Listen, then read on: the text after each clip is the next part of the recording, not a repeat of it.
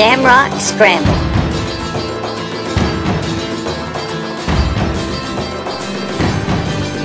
If you want Hornswoggle's gold, we have to find him now.